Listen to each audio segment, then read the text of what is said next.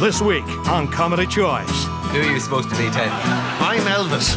I'm Elvis. Oh, Yeah, baby. In Craggy Island, Father Ted becomes the king. I know what it is to be young and tempted. You must have a marvelous memory. Suspicious minds aroused in Terry and June. And checking into Heartbreak Hotel. Martin, you have become the definitive.